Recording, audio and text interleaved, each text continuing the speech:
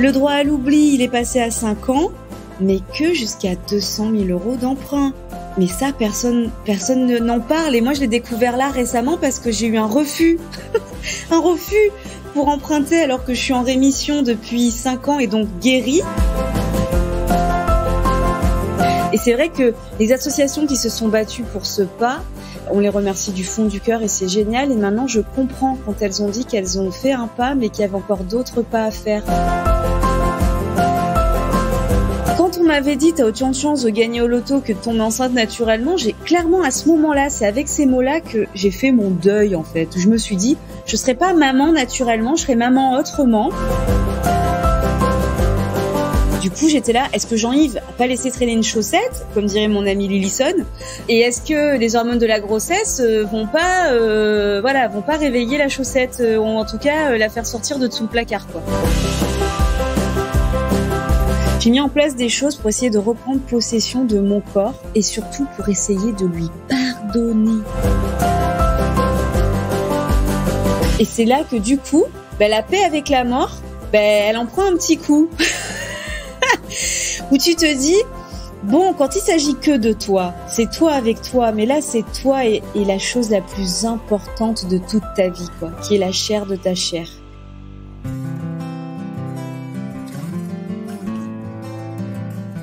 Nous naissons princesses et nous devenons guerrières. Fermez les yeux. Ça vous parle?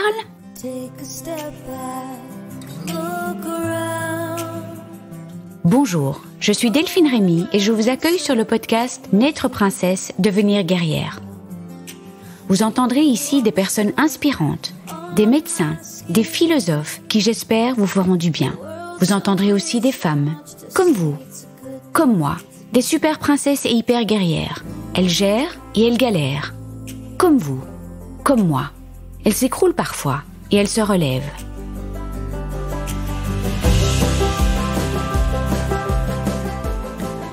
Qu'est-ce que j'ai adoré notre échange cœur à cœur autour de thèmes tellement importants. Waouh, on a discuté de mille choses et avec une intensité de ouf. L'énergie de notre Julie est juste magnifique, mais ça vous le savez. C'est vraiment un podcast feel good d'une sacrée nénette qui en a vu de toutes les couleurs et elle est là, debout, à la tête des frangines, engagée avec tant de choses à partager avec le monde. Mon introduction sera courte pour vite lui donner la parole. Nous avons parlé de son entreprise, son premier bébé.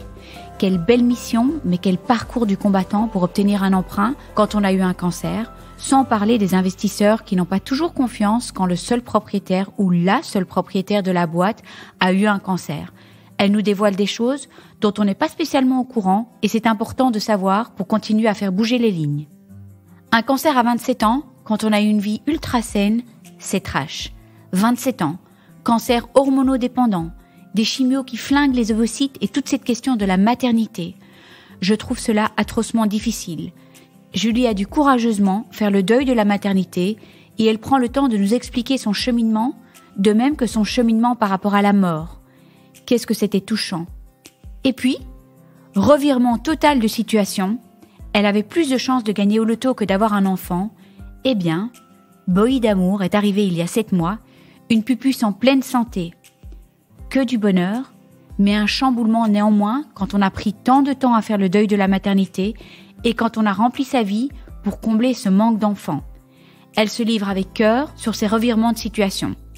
Nous avons parlé de son engagement, de sa volonté d'être inclusive, de sa déception devant une certaine discrimination au sein du cancer et même au sein d'un même cancer. On a parlé de l'après, des stigmates de la maladie, du syndrome post-traumatique, de la magie du corps, du pardon, de l'autocompassion et plein de choses encore. Bref, c'était intense et je vous invite à vous joindre à nous dans cet échange cœur à cœur. Perso, j'ai enfilé mes baskets pour écouter l'épisode avant de le poster et toute l'énergie de Julie m'a foutu la pêche, alors j'espère qu'il vous fera le même effet et je vous souhaite une bonne écoute. Bonjour Julie Salut, comment ça va Delphine? Ça va bien. Merci mille fois de témoigner pour le podcast Net Princesse Devenir Guerrière. Alors, on devait le faire il y a un an, en fait, cet épisode. Et puis voilà, on a été rattrapé par la vie. Il s'est passé plein de choses dans la tienne. Tu vas nous raconter.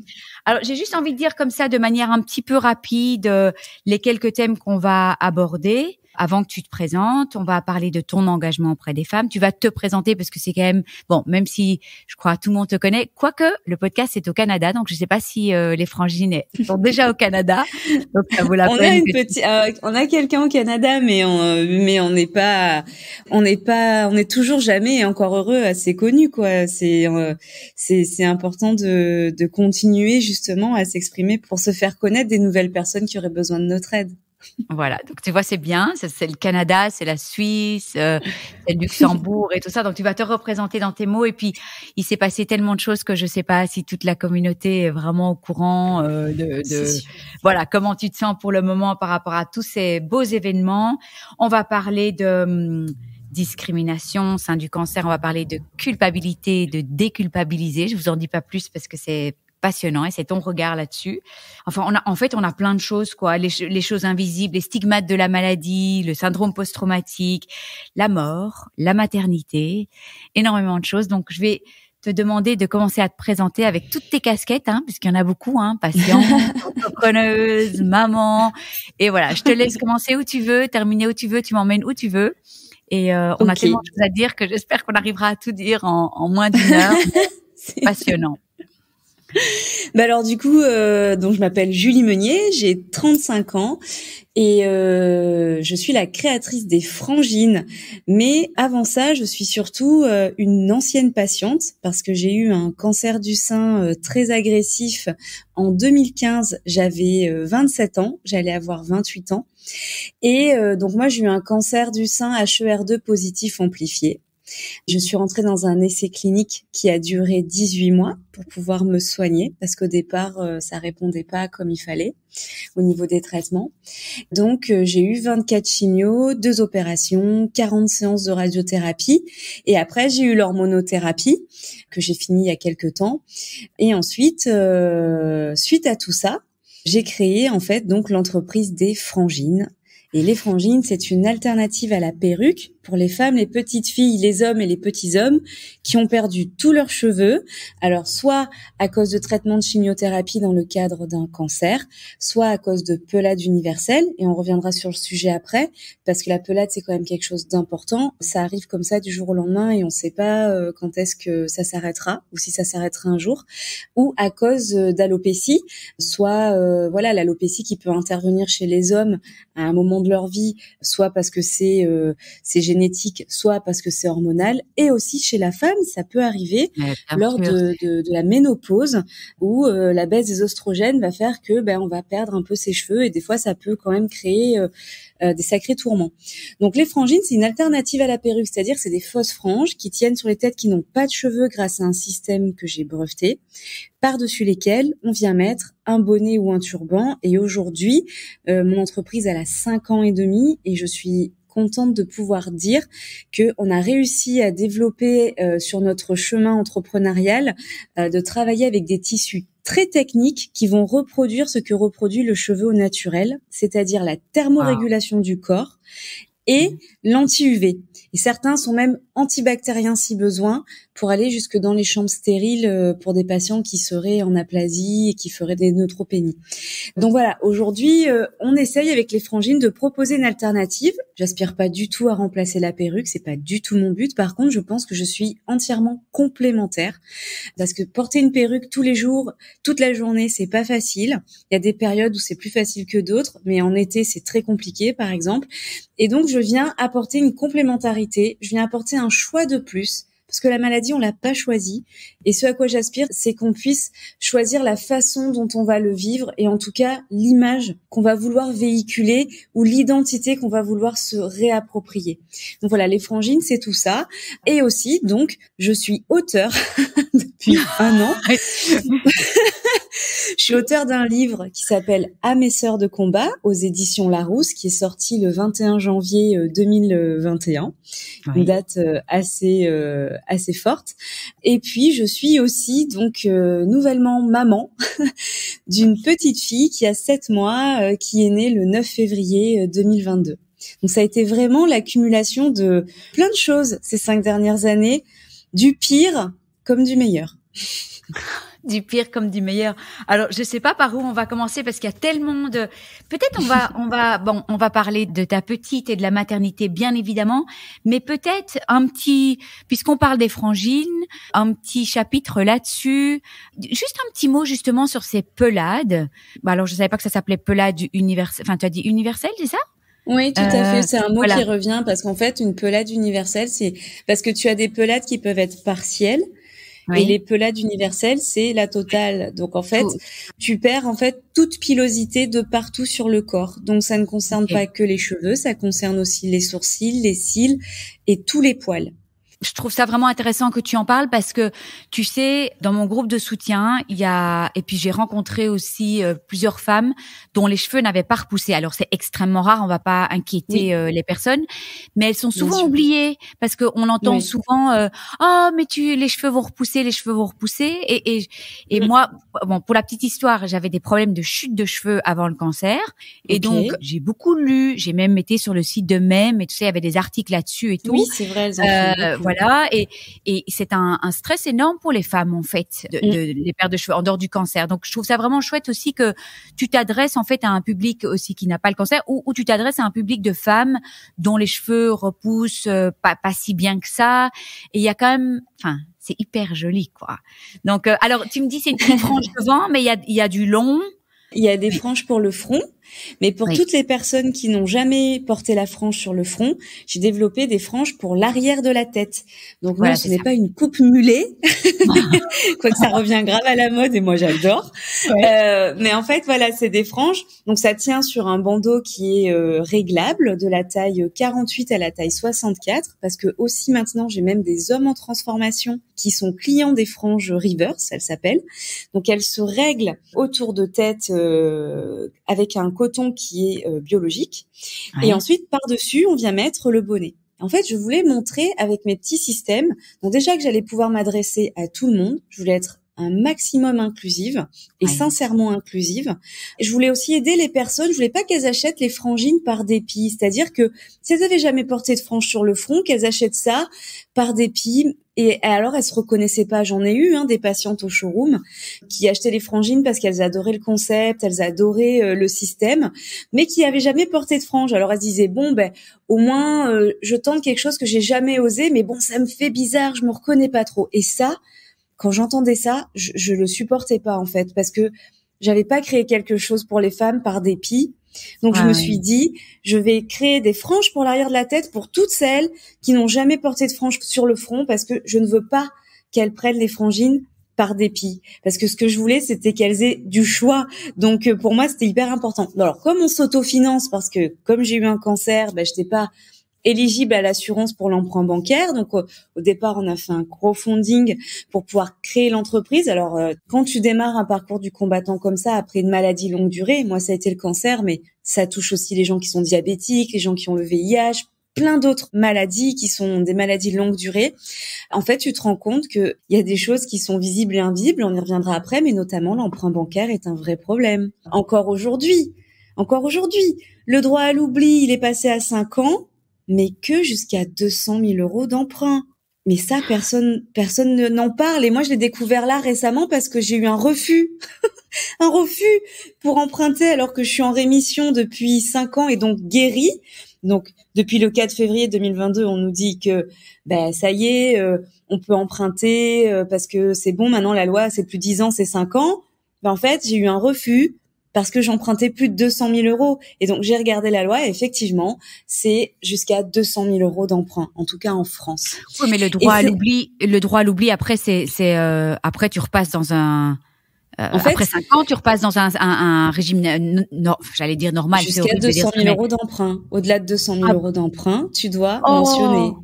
Eh oui. On n'a jamais, ça, ça n'a pas été mentionné, hein. Ah ben non, mais parce qu'en fait c'est tout nouveau. Et moi je, en fait pourquoi j'en parle? Et je crois que c'est la première fois que j'en parle parce que j'ai pas eu encore l'occasion d'en parler. Mon prêt il a été refusé il y a, il y a un mois. Et du coup j'ai eu les tenants, les aboutissants. Et c'est jusqu'à 200 000 euros d'emprunt. Et, et à partir de 200 000 tu dois mentionner. Et donc j'ai mentionné Et donc l'assurance, euh, j'ai pas, j'ai pas réussi. En tout cas, j'ai pas réussi à trouver quelque chose qui était à un prix raisonnable. J'allais pas payer 200 euros par mois d'assurance en plus de mon prêt. C'était pas possible sur 20 ans, quoi.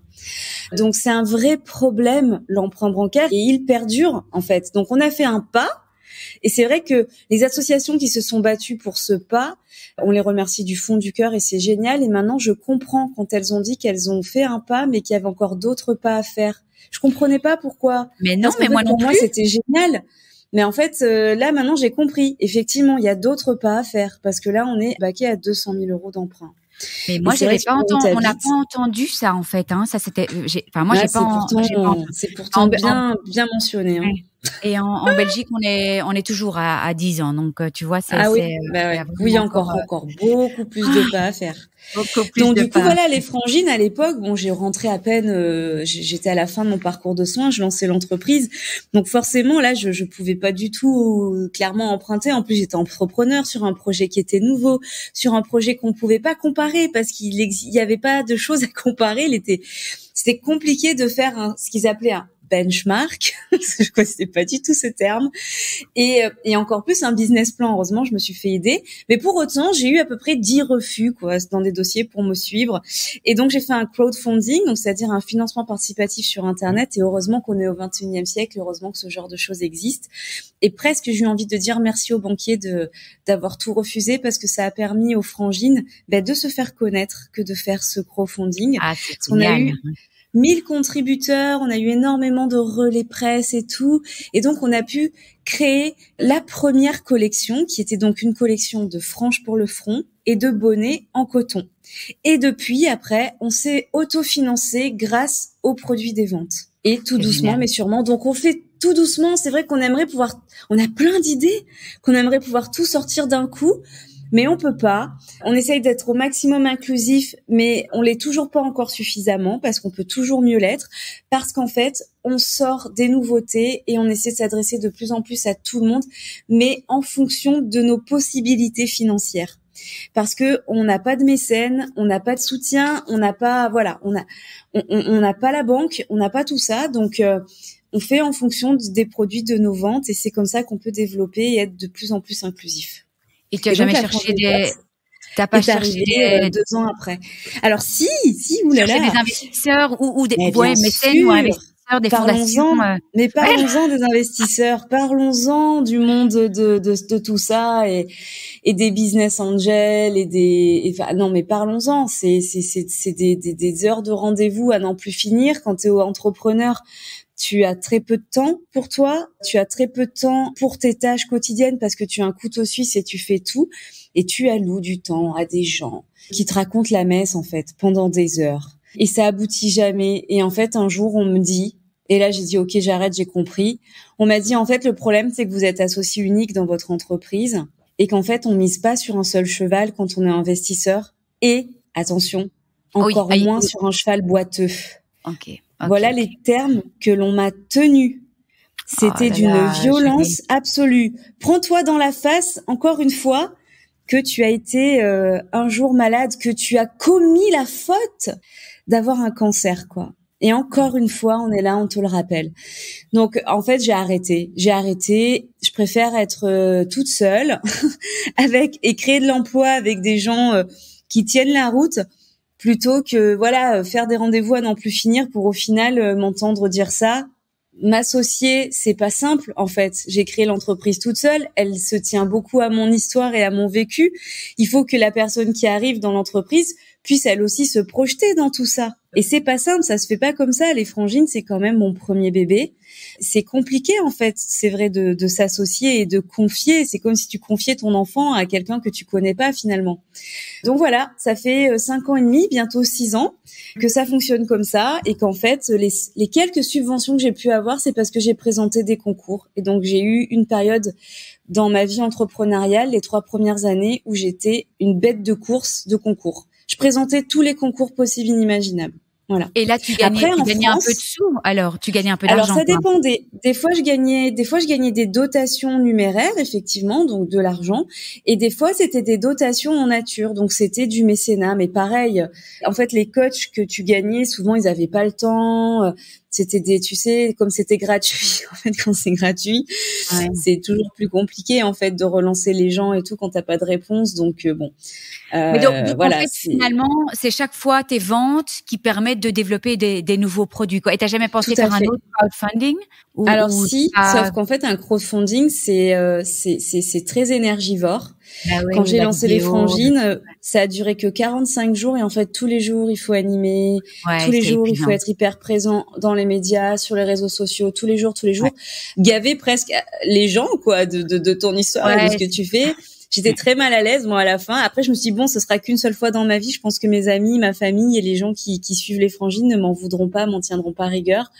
Mais c'est vrai que c'est très énergivore et à bout de 45 jours, j'étais épuisée, mais vraiment quoi. J'ai pris 15 jours de congé où j'ai énormément dormi parce que ça m'a vraiment fatiguée. Et donc euh, là, en ayant et l'entreprise à tenir, plus lancer un nouveau crowdfunding, ceux qui le font, je leur tire mon chapeau parce que c'est vraiment très très très difficile. Donc je l'ai jamais refait. J'y ai pensé plus d'une fois. La seule fois que je l'ai refait, ça a été pour les masques solidaires parce qu'en fait, euh, quand euh, voilà, il y avait il y avait cette pénurie de masques et qu'il y avait des gens qui étaient obligés de travailler parce qu'ils maintenaient en fait les gens qui travaillaient dans les dans les grandes surfaces, qui étaient là pour qu'on puisse aller acheter à manger, les éboueurs, les les pompiers, les infirmiers libéraux, les médecins, enfin tout cet écosystème qui n'avait pas suffisamment de masques quand on était au niveau au début du Covid. Donc j'avais fait un crowdfunding pour pouvoir acheter de la matière première pour pouvoir coudre solidairement des masques. Voilà. Et puis sur la région du sud de la France, on en a fait plus de 5000 en fait qu'on a donné ah, gratuitement euh, dans, dans toute l'aire du sud, euh, enfin notamment du sud-est de la France, parce que moi je suis à Nice. Et, euh, et, et, voilà, c'est le deuxième crowdfunding que j'ai fait et je l'avais fait que sur 15 jours. Mais là, je demandais pas, t'imagines les frangines, il y avait besoin de 30 000 euros pour que le projet puisse exister. Donc c'était énorme. Donc en fait, voilà, ça a été 45 jours très très très très très intense. Et euh, c'est pour ça que j'ai pas refait crowdfunding mais des fois j'y pense. Des fois j'y pense. Oui, alors là maintenant tu as en plus euh, une pupus euh, en plus de, de l'entreprise. Alors on, va parler de, on va peut-être jumper à, à, ça parce que c'est vrai que tu as été plus discrète sur les réseaux en fait avec petite Boï qu'on on voyait pas sa frimousse. Je t'avoue que ça c'était très frustrant. et, c'est pour ça qu'un jour je t'ai demandé des photos. Je dis mais je veux voir sa frimousse. Et, oui, euh, c'est vrai que c'est son papa qui qui me met un veto par rapport à ça parce que c'est vrai que moi, j'ai jamais eu de problème. Non, mais j'ai trouvé ça assez sympa parce qu'il y avait tout un petit mystère, tu vois, et les plus motivés devaient certainement t'envoyer des messages en disant « Je peux avoir des photos, s'il te plaît ?» Alors, on va parler d'un sujet, euh, bon, on n'avait pas prévu exactement dans cet ordre-là, mais ça n'a aucune importance, de 27 euh, ans, un cancer. J'imagine que à l'époque, on t'avait probablement dit que tu ne pourrais pas avoir d'enfant. Comment ça s'est passé exactement, justement Est-ce que tu peux parler de prélèvement d'ovocytes? Qu'est-ce qui s'est passé pour toi? Ce deuil de la maternité que tu avais fait et puis voilà. En fait, ça, je l'ai découvert aussi euh, parce que quand tu as un cancer, bon, c'est déjà la météorite que tu te prends sur la tête. Hein, tu te dis mais comment comment c'est possible? Qu'est-ce que j'ai fait? Qu'est-ce que j'ai pas fait? Enfin, j'en sais rien. Tu te poses un milliard de questions, sauf que faut arrêter de te la poser parce que en vrai, tu auras jamais la, la réponse. Mais déjà, tu as le choc de l'annonce du cancer, et ensuite dans ton parcours, tu vas de de nouvelle en nouvelle, et notamment le problème éventuel de la fertilité, parce qu'en fait, la chimiothérapie va manger des cellules et notamment les ovocytes que tu vas avoir dans les ovaires et suivant ta réserve ovarienne, ben peut-être que euh, ça va créer en fait derrière des problèmes de fertilité, voire de stérilité, voire de ménopause précoce. Donc euh, ça, je le savais pas. Ça, je l'ai découvert et heureusement que j'étais suivie dans un centre euh, Unicancer, un centre de recherche, et que la, la, la gynéco qui, qui m'a suivie au départ était au fait de tout ça et m'a dit voilà euh, bon il faut aller très vite parce que j'avais j'avais un cancer 100% récepteur oestrogène un truc bien vénère. Ah, et quand tu as 27 ans les oestrogènes autant te dire que voilà ils sont euh, en ébullition. Donc euh, elle m'a dit il faut faire vite. Donc elle m'a pris rendez-vous avec le professeur Greenberg qui était à Bondy à Paris qui est un très grand professeur internationalement connu pour tout ce qu'il fait au niveau de la de la fertilité et de l'infertilité. Elle m'a pris rendez-vous avec lui. J'ai eu un rendez-vous. En fait, je l'ai vu le vendredi. Le lundi, j'étais à Paris. Le mardi, je faisais l'opération des prélèvements d'ovocytes. Alors les prélèvements d'ovocytes, c'est quelque chose parce que je pouvais pas avoir de stimulation hormonale étant donné que j'avais un cancer hormonodépendant. En plus 100%, et 100 récepteur oestrogène. Donc comme il fallait pas trop titiller euh, la bête, quoi, ben, c'est vrai que ben, ils ont prélevé euh, ce qu'ils ont trouvé. Et là, on s'est rendu compte que j'avais une réserve ovocytaire qui était pas terrible en fait. Donc euh, il faut savoir que quand ils prélèvent, au prélèvement, il y a à peu près la moitié qui survit à ce prélèvement et la moitié qui survit à la cryocongélation. Donc en fait, moi, ils m'en ont prélevé 13. Sur les 13, il y en a 7 qui ont survécu à la, au prélèvement et il y en a 5 qui ont survécu à la cryocongélation. Et à ça, après, si j'en ai besoin, il faut qu'ils survivent à la décongélation et ensuite à la fécondation et à la réintroduction in vitro. Donc, ouais, donc ça fait beaucoup, beaucoup de si, d'étapes. Et c'est vrai que ma gynéco m'avait dit, bon, pour faire bien, il aurait fallu en prélever 20. Donc euh, voilà. Euh, mais moi, je me disais, écoutez, j'en ai. Elle me dit, on pourra rétirer après les traitements et tout, mais on aura quand même des ovocytes de moins bonne qualité, tout ça, donc c'est mieux de le faire avant. Je m'étais dit, écoutez, c'est pas grave. Moi, j'étais en pleine séparation à l'époque. J'étais pas du tout dans l'optique. Euh, d'avoir un bébé tout de suite. Euh, et puis j'avais ma mère qui arrêtait pas de me dire, écoute Julie, il n'en suffit que d'un. Mais elle me disait, reste focus là-dessus. Il n'en suffit que d'un. Où j'étais en colère, c'est que je savais pas si un jour je voulais être maman. Mais ce que je savais, c'est que je voulais avoir le choix. Et là, je trouvais ça pas juste que le cancer m'enlève ce choix. Ouais, terrible. Mais bon, aujourd'hui, par rapport à l'époque, il y a quand même beaucoup plus de recherches, tu vois, sur l'arrêt de l'hormonothérapie. Mais Ouais, c'est ça. Il y a toute une étude de Big Against Breast Cancer euh, où tu, tu, tu, peux avoir des fenêtres thérapeutiques, quoi, mais mais pas à l'époque en fait, moins à l'époque. Non, il y a cinq euh, ans. Mais t'imagines, ma gynéco m'a dit vous avez votre cancer maintenant et c'est tout nouveau à l'époque. Le docteur Greenberg, parce qu'alors il y a des des méthodes qui existent, c'est de la science-fiction. Il m'a prélevé aussi un morceau de cortex ovarien, c'est-à-dire un morceau d'ovaire, et il l'a cryo-congelé. Congelé, et il m'a dit, si on utilise les 5 ovocytes que ça marche pas, on aura toujours ça. En fait, on le décongèle, on le greffe dans le bras, on le stimule hormonalement dans le bras, on prélève les ovocytes qui vont en, découler et ensuite on refait des, des essais comme ça. Donc t'imagines, c'est de la de la science-fiction en fait. Non mais complètement quoi. Et figure-toi qu'à l'époque, Déjà, il y a cinq ans, il y avait une trentaine de bébés dans le monde qui étaient nés de cette méthode. Incroyable. Et moi, j'étais là, waouh, mais c'est de la science-fiction, ce truc et tout. Enfin, donc tu vois, j'avais, je me retenais beaucoup à plein d'espoir et surtout à l'évolution de la science qui fait des bons tout le temps en fait. Et là, effectivement, je te parle de ça d'il y a cinq ans et depuis cinq ans, je ne me suis pas renseignée sur le sujet parce que j'étais dans toute autre chose. J'étais dans mon entreprise, à fond les ballons. Et donc c'est vrai que j'étais. Après, bon, j'ai rencontré mon mari, je, me suis, je me suis mariée. Enfin, voilà, il y a eu plein de choses en cinq ans combien de temps ça a duré? Parce que voilà, t'étais pas en couple, euh, mais tu, as dû faire un deuil de cette maternité à un moment? Ah oui, complet. Ben, en fait, je l'ai pas fait tout de suite parce que moi je suis quelqu'un d'hyper optimiste et tout. Je l'ai enfin, un deuil, un deuil, mais ceci dit, il y avait quand même encore des ovocytes qui étaient congelés quelque Exactement. part. Exactement. Déjà, il y avait de l'espoir. Mais par contre, ce qui, ce qui s'est passé, c'est que donc j'ai rencontré mon mari 15 jours après ma 24e et dernière chimio. J'avais euh, 3 cm de cheveux sur la tête. Euh, enfin voilà, c'était euh, ah ouais vraiment. Euh, j'aurais pas cru cet été-là rencontrer l'homme avec qui j'allais me marier. J'étais pas dans cette optique-là. Moi, j'étais partie en mode je vais faire la fête. Ça fait un an et demi que c'est compliqué et là je vais rattraper un an et demi. ça va être pompé Et c'est vrai que bah, bon bah j'ai rencontré j'ai rencontré mon mari quand même.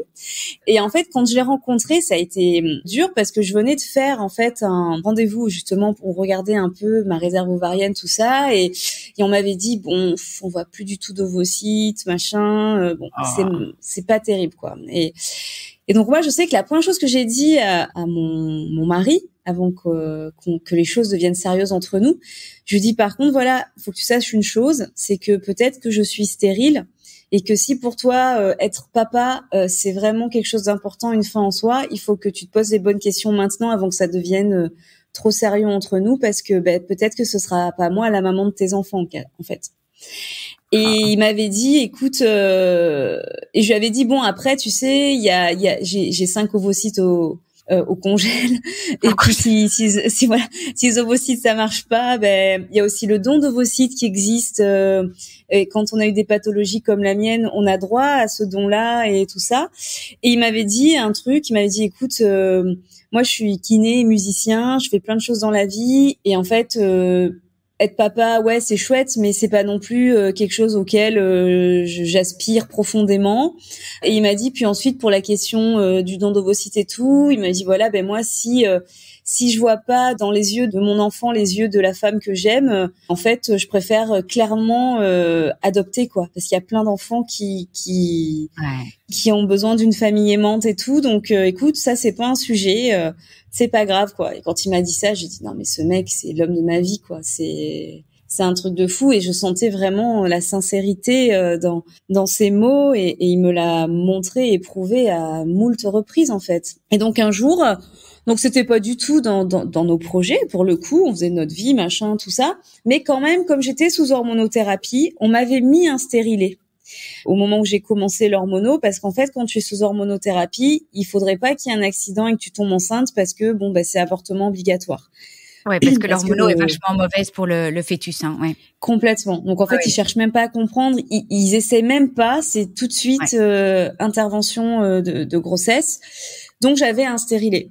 Bon, j'avais quand même mon suivi gynéco et deux ans après, je crois, donc je fais, je continue mon suivi et à chaque fois on regarde mes ovocytes. Et là, on me on me dit bon bah en fait il y a toujours euh, rien quoi et euh, il me dit j'espère c'est pas un projet pour vous parce que là vous avez autant de chances de gagner au loto que de tomber enceinte euh, un jour quoi. Et là je dis au médecin je lui dis waouh, je dis bah heureusement que c'est pas un projet pour moi parce que là vous m'auriez flingué quoi. c'est un peu dur comme terme. violent, quoi? violent. Bon après, moi, je suis quelqu'un bon qui, bah, je prends souvent les choses. j'ai beaucoup d'autodérision et tout.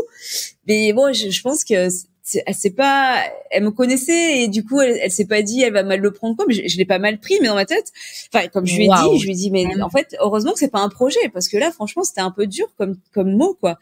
Et donc je rentre à la maison avec ça et je dis à mon à mon mari, je dis waouh euh, en fait euh, on a autant de chances de gagner au loto qu'un jour avoir un enfant donc on va peut-être commencer les démarches euh, voir peut-être pour adopter tout ça. Mais bon c'est compliqué aussi quand tu as eu un cancer pour adopter. Bon.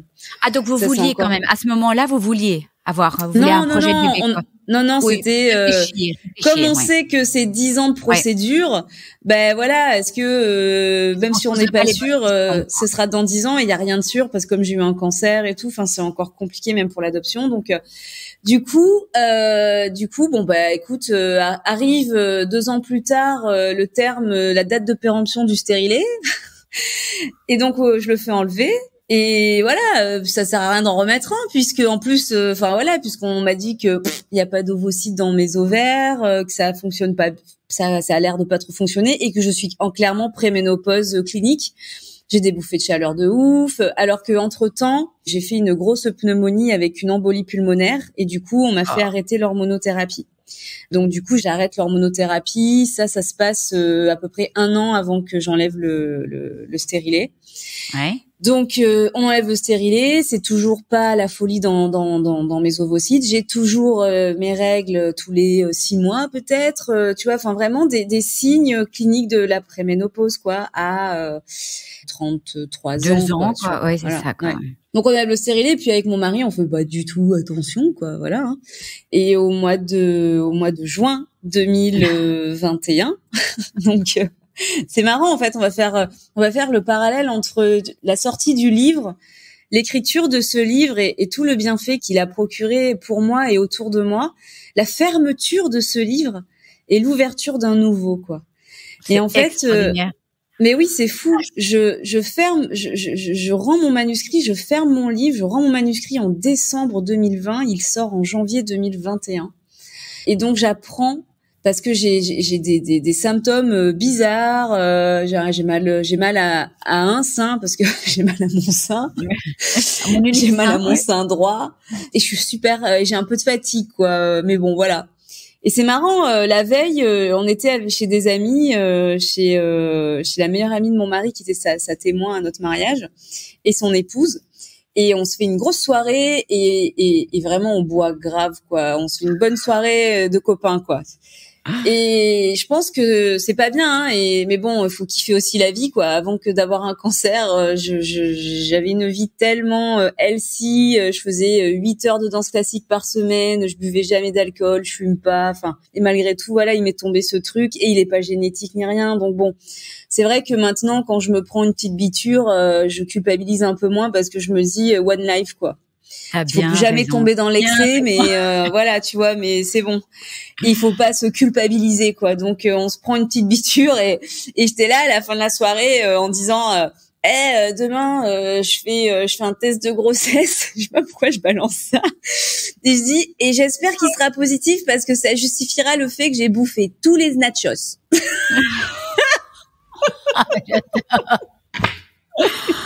non, mais... le lendemain. Et le lendemain, je me réveille un peu, euh, voilà, euh, un peu la gueule, la gueule de bois, quoi, quand même. Et je vais, je prends mon petit bâton, quoi, et je vais faire mon petit test. Et là, il, deux barres direct, quoi. Et là, j'étais là, je me frotte les yeux en mode, euh, en mode attends, euh, non, t'es encore, t'es encore un peu saoul. T'as pas les, t'as les yeux qui, qui louchent et tout. Enfin, et, et je reste comme ça et je fais, mais non. C'est vraiment le truc qui m'est, mais non, enfin, qui m'est sorti spontanément je suis allée voir mon mari euh, qui était dans le lit, euh, pareil, euh, en PLS.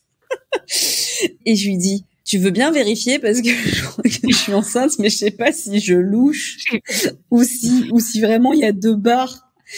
Et là, il, il, se lève mais d'un bond quoi. Il prend le bâtonnet, il le prend devant ses yeux, il fait oh putain, t'es enceinte. oh, mais c'est magnifique. Et là, et là, c'était, et il prend le test, il le serre contre lui, je m'en rappellerai toujours, et il tombe en arrière sur le lit, il se met en boule, et genre, il est trop content, quoi.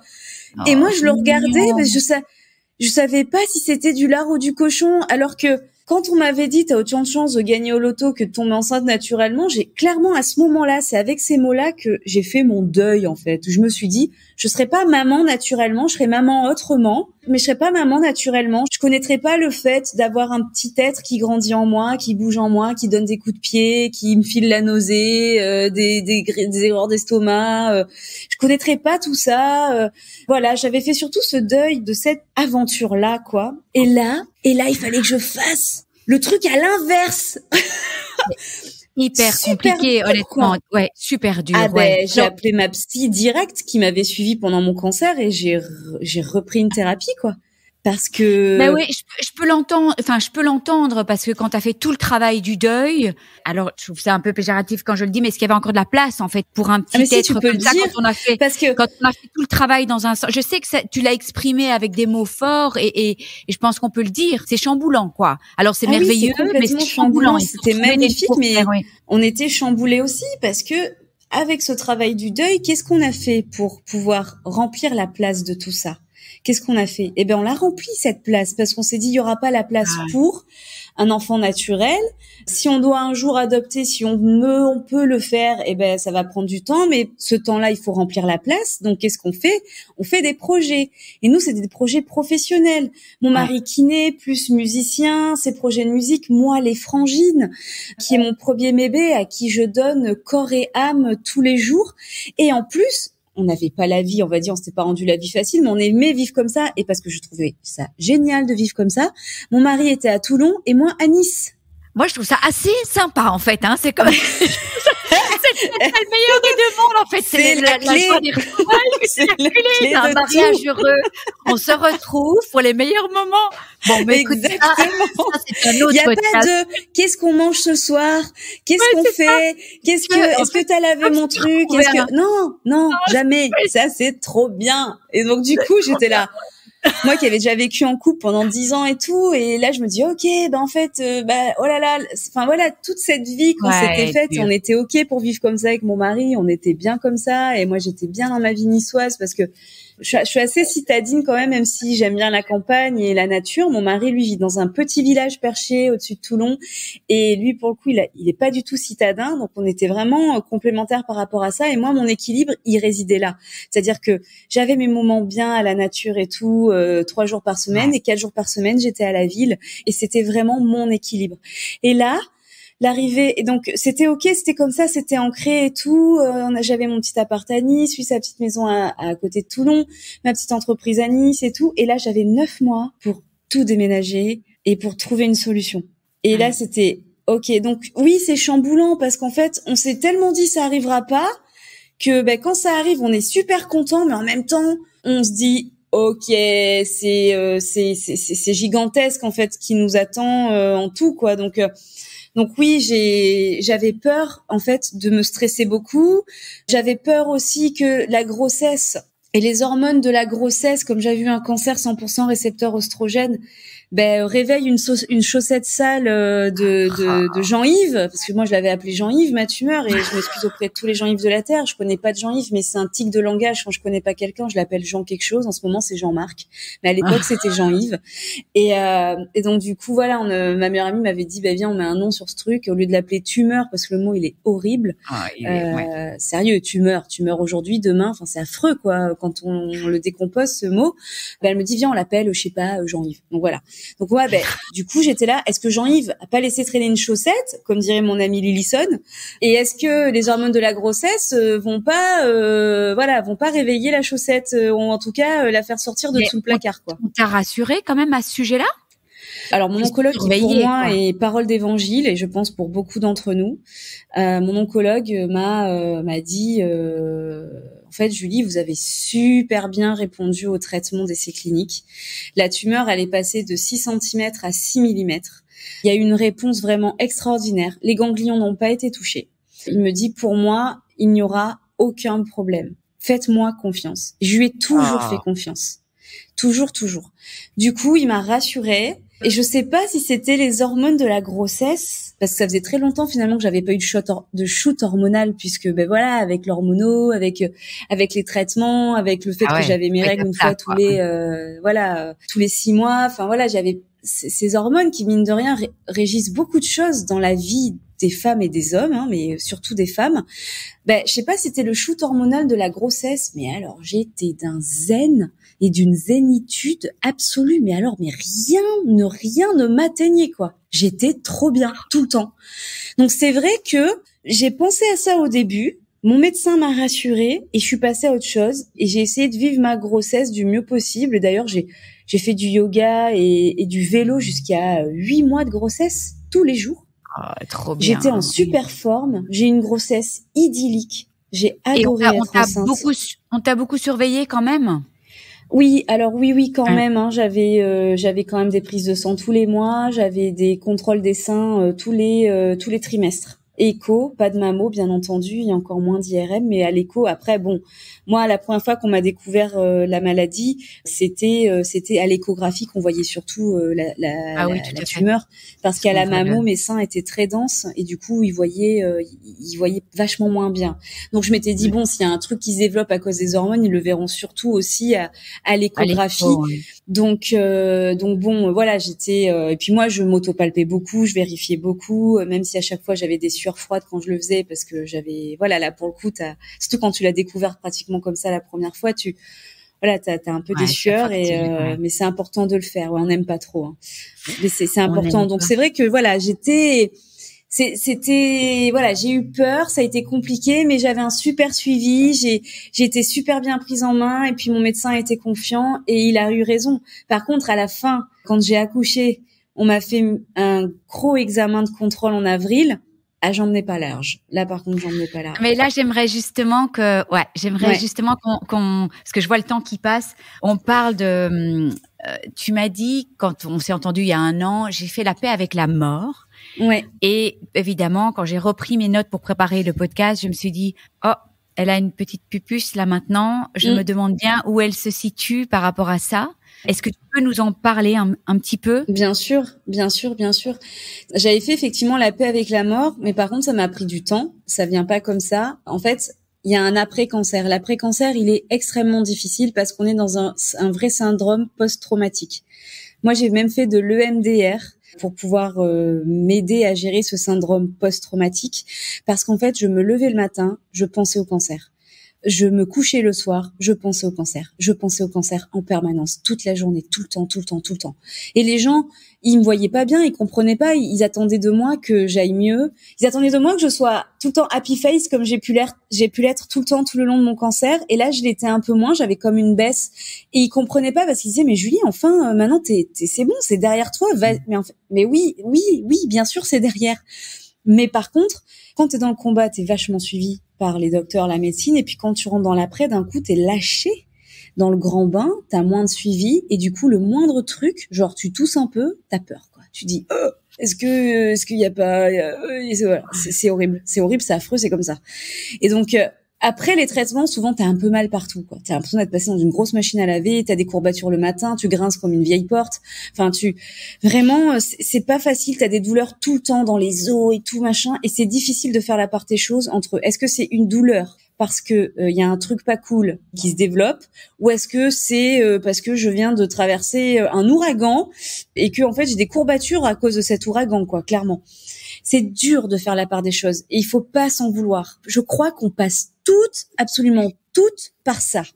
Mais c'est bien que tu dis parce qu'on a l'impression, ouais, qu'on a l'impression qu'on est un peu folle. Euh, moi, un petit truc sur la peau, putain merde, un cancer de la peau, un petit truc Exactement. là, oh un cancer du poumon. Euh, ouais, c'est l'insouciance n'est plus l'insouciance. Le, ça n'arrive qu'aux autres. Non, en fait non. Et là, moi, quand on me dit oui, bah ça va, t'as une chance parce que j'ai très peur de l'avion.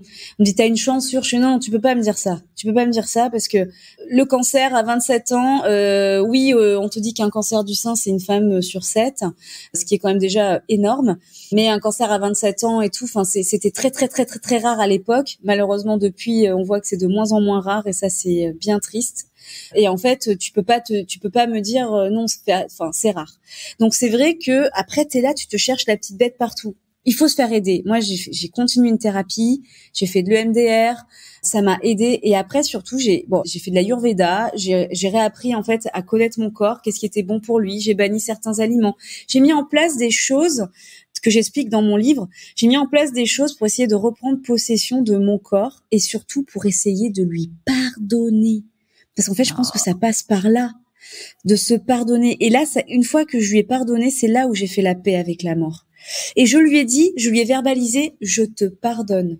Parce qu'en fait, je me suis mise, donc j'ai fait l'Ayurveda, donc maintenant je suis euh, toutes les préconisations avec Amélie Clergue de l'Ayurveda. Et euh, je me suis mise au yoga. Et le yoga, lui, m'a réappris à prendre confiance en mon corps. Parce qu'en fait, je me suis rendu compte que je faisais des trucs de ouf avec mon corps, que les douleurs disparaissaient et je, je me mettais un peu en méditation avec lui et j'essayais de le comprendre parce que je lui en voulais beaucoup. Je lui en voulais énormément d'avoir laissé passer une cellule, de pas avoir vu que c'était une cellule euh, malsaine et de l'avoir laissé se développer, tu vois. J'en voulais énormément. Et en fait, en faisant le yoga, je me mettais un peu en méditation avec lui et j'ai compris une chose, c'est que mon corps, c'est un être humain. Et on dit tout le temps que l'erreur est humaine. Et donc, mon corps a fait une erreur, effectivement. Moi, j'en fais tous les jours des erreurs, comme tout le monde. Et est-ce que je devrais pas lui pardonner d'avoir fait cette erreur? Est-ce que il a pas été là quand même pour mener de front les traitements, pour subir, pour que je puisse quand même continuer d'être là, pour se battre lui aussi? Il a pris cher, mais le cancer a pris cher aussi.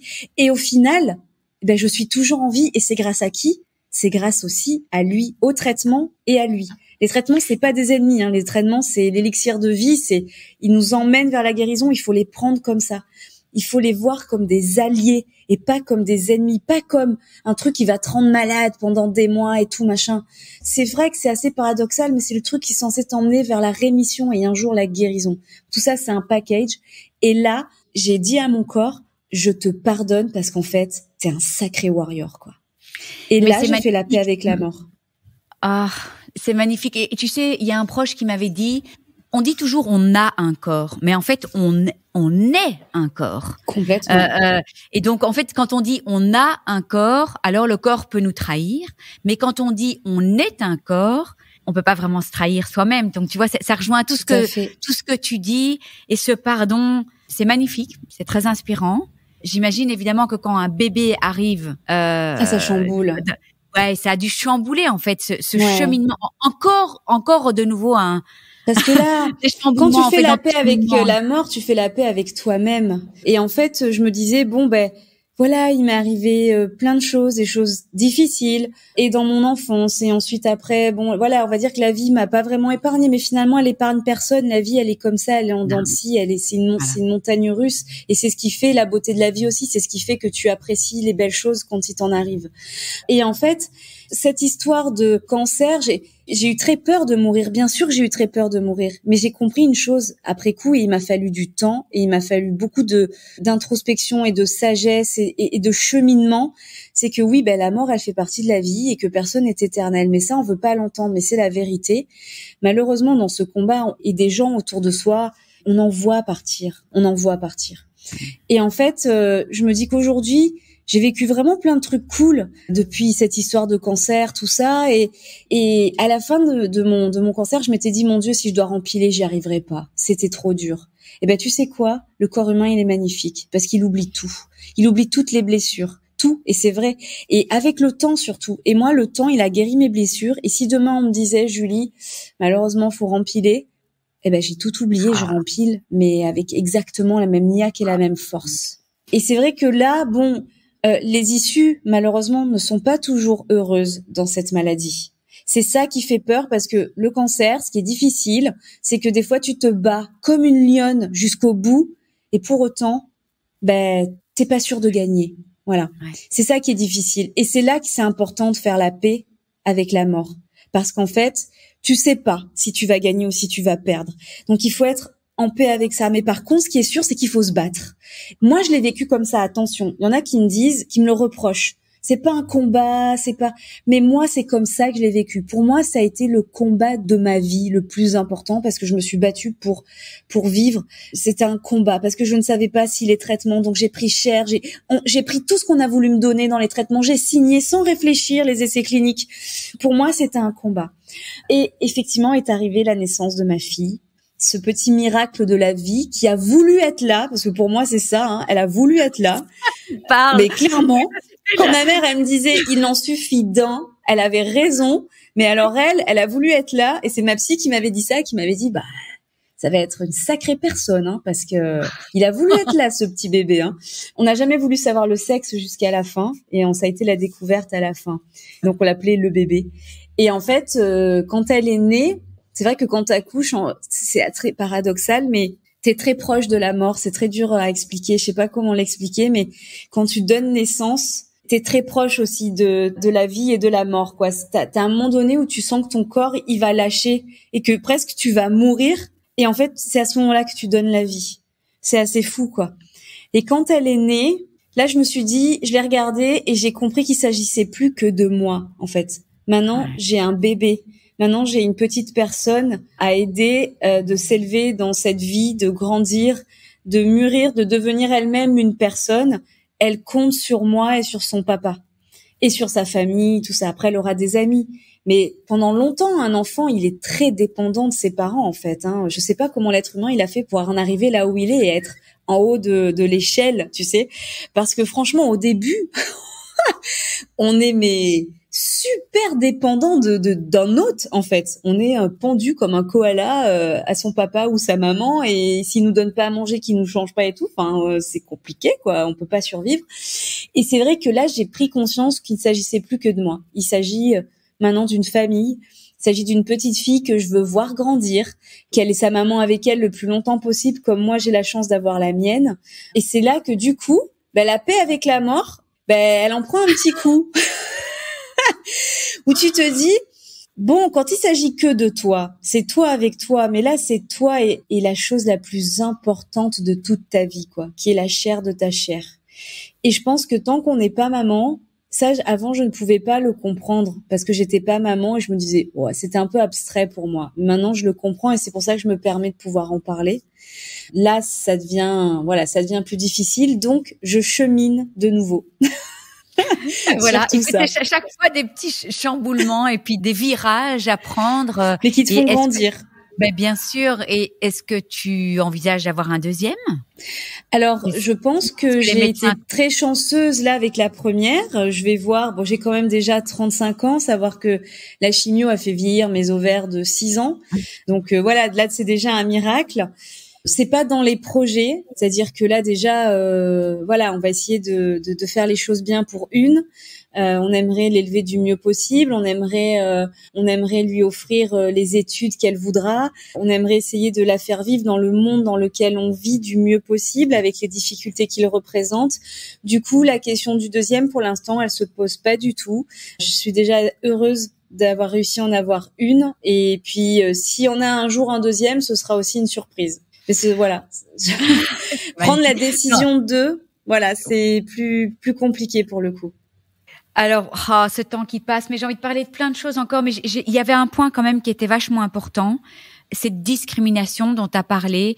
Il se fait que quand on s'est parlé l'année dernière, c'était on, on arrivait dans cette espèce de, je crois en fait qu'on était en plein octobre rose et euh, toutes les deux un peu. Euh, euh, je vais pas dire fatigué de ce pink bashing euh, ah oui. et, et, de, et de, de se dire attends mais toutes celles qui ouais voilà exactement. Donc qu'est-ce que tu peux nous dire par rapport à cette discrimination au sein du cancer du sein? C'est le cas de le dire. Et puis les cancers culpabilisants et puis tous les autres cancers oubliés et tout. Je trouvais que tu avais un chouette message et j'ai vraiment envie de le crier haut et fort qui, qui était important pour pour toute la communauté et puis, puis toutes les femmes un peu oubliées quoi aussi tout à fait, mais il est là le problème. il est là le problème dans la, oui, les femmes, les hommes, tu vois, parce que il est là le souci, c'est que Octobre Rose, alors c'est important et c'est beau hein, qu'il y ait eu un mois dédié comme ça au cancer, bon, au cancer du sein, euh, mais à savoir que le cancer du sein ne touche pas que les femmes, il touche aussi les hommes. Ok, c'est 1%, c'est pas beaucoup, mais quand même,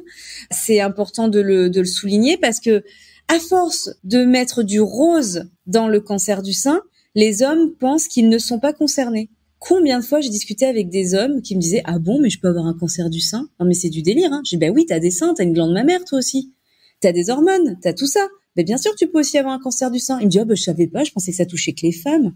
Tu vois, tellement que tout est rose. Et parce que, pourquoi? Parce que l'inconscient collectif, le rose, c'est la couleur des filles, le bleu, c'est la couleur des garçons. C'est chiant, mais c'est comme ça. J'espère qu'un jour, on va casser tout ça.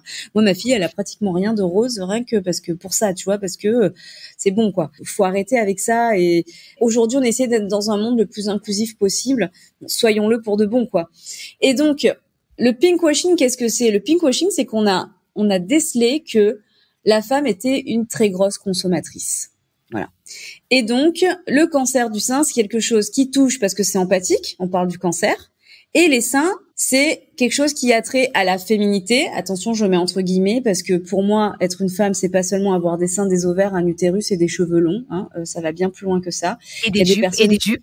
Et des, jupes, Voilà, il y a des personnes qui deviennent euh, femmes et qui et qui n'ont rien de tout ça. Euh, il y a des personnes qui n'ont plus tout ça et qui sont quand même des femmes. Donc en fait, voilà, ça va bien plus loin que tout ça. On peut parler philosophie quand on aura plus de temps, mais ça va bien plus loin. Et je tiens à le souligner. Donc les marques, tout ça, ont décelé que la femme est une grosse consommatrice, que là on parlait du cancer, qui était quelque chose d'empathique, que les gens allaient suivre.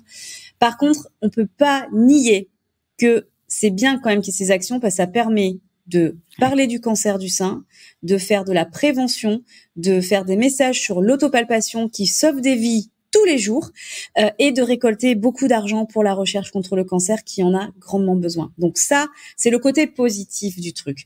Le côté négatif, c'est que on a l'impression qu'on parle que du cancer du sein.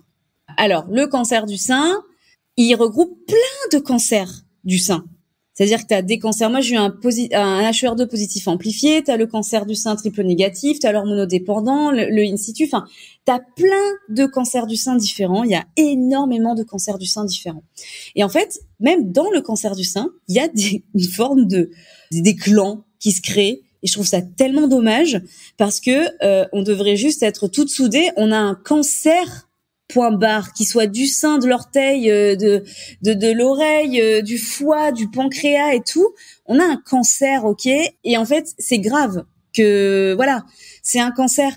Effectivement, dans ces cancers que je viens de citer, il y en a qui sont très très graves, mais on n'est pas là pour juger de la gravité. On est là pour s'entraider et partager, se soutenir en fait. Donc, euh, je trouve ça dommage. Je trouve ça vraiment dommage que il y ait des gens qui se sentent mis de côté. Moi, je le vois au showroom, j'ai des patientes qui viennent et souvent, quand je les vois, je leur dis, est-ce que si c'est pas indiscret, je peux vous demander, vous êtes suivi pour quel type de cancer? Et un jour, enfin plusieurs fois, mais il y a surtout une dame un jour qui m'a dit, ah non non, mais moi c'est pas important. Je dis, bah si, enfin, c'est tous les cancers sont oh, importants. et elle me dit, non mais bon, euh, je suis suivie pour un cancer du poumon, mais tout le monde s'en fout. Et là, je lui dis, ben, pour, enfin, pourquoi? Et elle me dit, oui, mais vous savez, quand on a un cancer du poumon, c'est hyper culpabilisant parce que la première question qu'on vous pose, c'est, ah, mais t'as fumé? Mais je trouve ça tellement triste. Et elle me dit, puis le cancer du poumon, c'est pas comme euh, le cancer du sein, on en parle tout le temps. Le cancer du poumon, on n'en parle pas vraiment. Il n'y a pas de d'événements grandioses. Il n'y a pas la tour Eiffel qui s'illumine pour le cancer du poumon. Et le cancer du l'ovaire, parlons-en, il est deux fois plus meurtrier que le cancer du sein. Et c'est vrai que c'est septembre turquoise et on n'en parle pratiquement pas. Les cancers pédiatriques, septembre en or, on n'en parle pratiquement pas. Il y a mars, mars bleu pour les cancers euh, colorectaux, il y a bon Movember, on en parle un peu plus parce qu'il y a le mouvement de la moustache, mais quand même, en fait, et, bon, si on devait répertorier tous les cancers pour faire, mais en fait, le cancer, c'est toute l'année, c'est tout le temps. Il a pas de saisonnalité, il a pas de sexe, il a pas d'âge, il a pas d'ethnie, il a rien, il est là, il est partout, il est tout le temps. Après, c'est bien de temps en temps de, de faire des événements de la prévention, mais il faut surtout pas oublier les autres, en fait. Il y a un monsieur que que, que, que, j'aime profondément qui a perdu son petit garçon d'un, d'un myélome, euh, enfin dans le cerveau, quelque chose de très très grave. Et son petit garçon. Et en fait, son petit garçon, un jour, il lui a dit "Papa, il y a les autres." Et souvent, il, il met ça dans ses postes. "Papa, il y a les autres." Et c'est vrai, en fait. Il y a les autres et on devrait être tous soudés et pas créer en plus des clans et des sous-clans en fonction du cancer et après du type de cancer. Mais c'est tellement dommage. Soyons soudés. Faisons entendre la parole à grande échelle. Je l'ai entendu euh, plusieurs fois, tu vois, quand c'est euh, oui mais oui mais j'ai juste eu un petit in situ et en fait j'ai pas eu de chimio et j'ai pas eu de rayon, mais alors c'est ben c'est quand même un cancer quoi. Alors c'est vrai que les traitements sont moins longs, mais ça peut être vécu de manière euh, même moins bien que par exemple une personne qui a eu des traitements plus longs, parce qu'on sait pas les Ces personnes se sentent pas légitimes. Elles se sentent pas. Il y a un réel problème de légitimité. Oui, c'est c'est c'est parce qu'elles n'ont pas eu de chimio parce qu'elles n'ont pas perdu leurs cheveux et, et c'est mais aussi dans les, les, maladresses. Ah mais ah mais t'as pas enfin on en a parlé longuement dans le podcast et tout t'as pas perdu de cheveux donc c'est un cancer qui doit pas être si grave en fait. Donc euh, oh là là mais c'est terrible. c'est ouais c'est parfois après attention il y a quelque chose que j'aimerais dire aussi c'est que le commun des mortels il essaye d'être empathique et des fois il est maladroit. Il a de la bienveillance qui est mal placée. Combien de fois on m'a dit des trucs euh, mais terribles, c'était juste de la bienveillance mal dosée. Et après j'ai appris une chose dans mon cheminement, c'est qu'en fait chacun fait comme il peut et les accompagnants aussi. Eh bien, bien sûr, mais même le, même la personne qui essaie de, de, se soigner, elle fait comme elle peut. La résilience, euh, voilà, chacun sa propre définition de la résilience. Chacun fait comme il peut.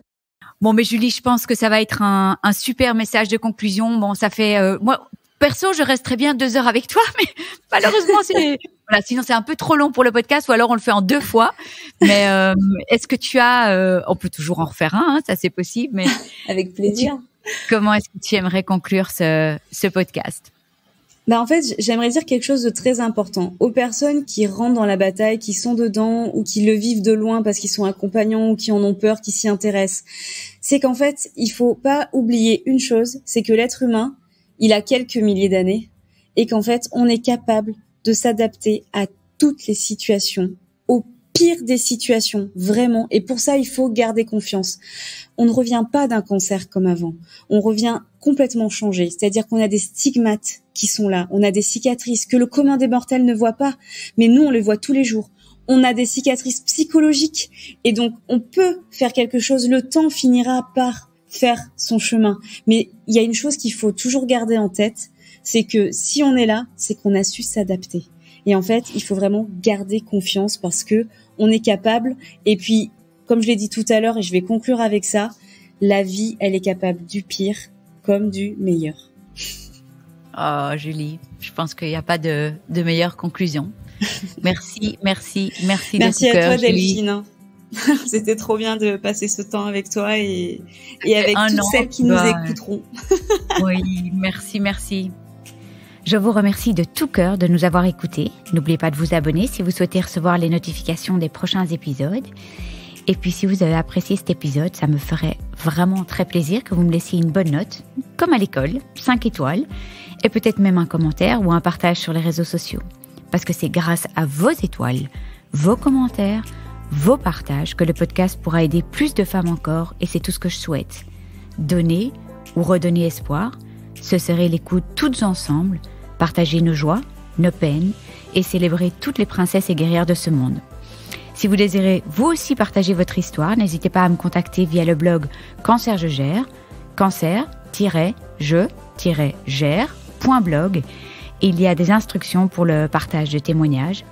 Et puis je vous embrasse tous et toutes très très fort. Prenez soin de vous et on se retrouve la semaine prochaine. Gros bisous